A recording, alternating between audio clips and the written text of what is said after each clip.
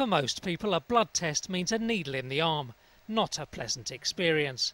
But if the developers of the ANISA system have their way, a standard test could soon become a lot more bearable.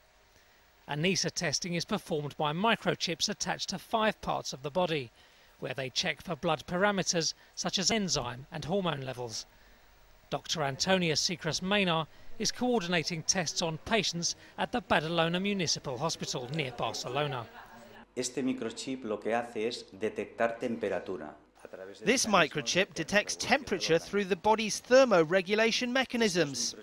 These microchips must be placed on the carotid arteries in the armpits and one in the umbilical area.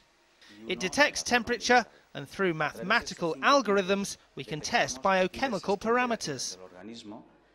Secras Maynard says the ANISA is as effective as traditional blood tests and offers results within just six minutes.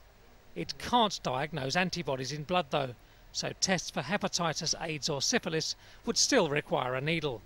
Patient Javier Jimenez says he was pleasantly surprised by his ANISA experience. És un tipus de prova, les analítiques, quan et putxen en el braç, de que... The normal way of drawing blood, with a needle, makes you very anxious.